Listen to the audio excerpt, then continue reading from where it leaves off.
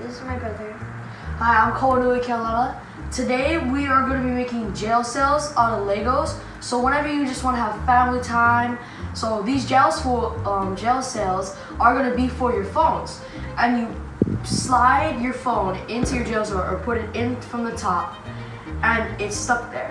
And then Makana has little characters right here and they're going to be like to scare um, the people off not um, so they don't touch their phone, right? So yeah, this is the way we're gonna make them is just some Legos, that's all you need. Some Legos and just start building up.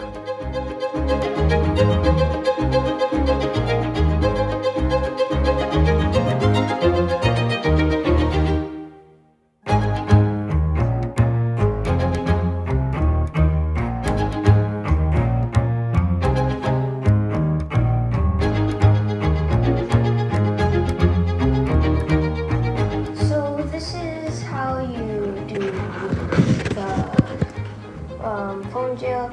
So you put a little creepy guys, big, small, medium size, and then you put a little sign that says "Do not enter," and you put someone's phone inside of the chamber, and then everyone is surrounding it so no one can get through.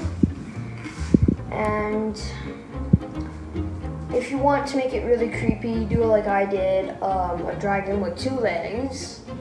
Um, and that's another example right there.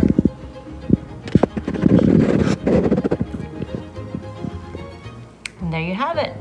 Cell phone jail. Oh, you can't do it because I'm filming. You can put daddy's one in there.